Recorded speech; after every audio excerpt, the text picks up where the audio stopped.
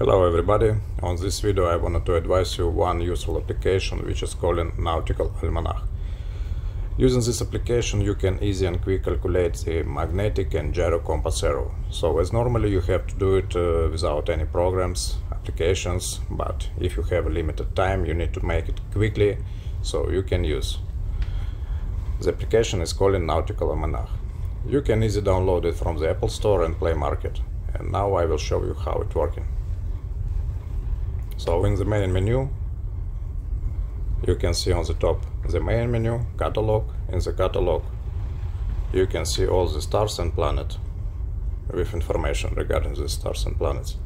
So in the main, what you need to do, you need to choose your latitude, longitude. You can change degrees and minute.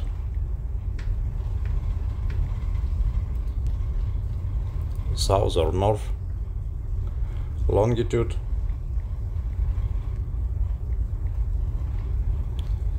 and you can choose west or east. So the year now is 2022 and the day today is 16th of October in the list below you can choose the month. Now 16th of October. And the time.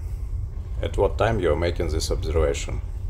So if you will press the button down update time it will update the time directly from your telephone.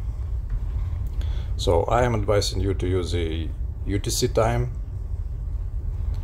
Now 1700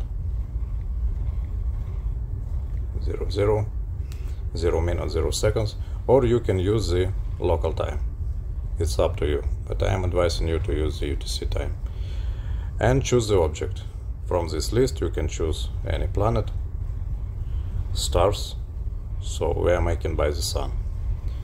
So down you can see the azimuth GHA LHA, height of the Sun, and magnetic variation at reference year, annual change, and the present magnetic variation. This is your current magnetic variation at this time. So 2 decimal 71 west. So when you already inserted all this information required, you can go and press the button compass.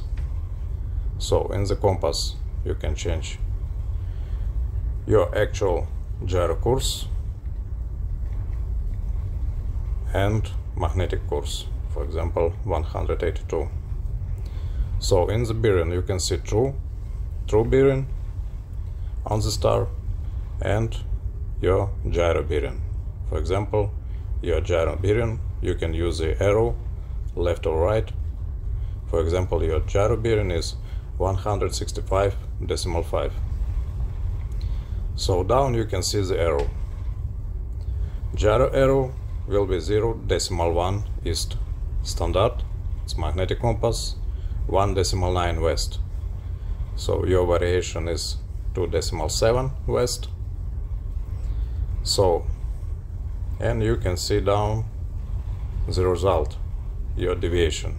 Your deviation will be 0 decimal 8 east. So as you can see it's very simple very easy to use this application. If you are making observation by the star you can choose from the catalog any star which is appropriate to you by the azimuth and height so if this video was useful for you you can subscribe on my channel press the like. So safe sea and see you. Thank you. Goodbye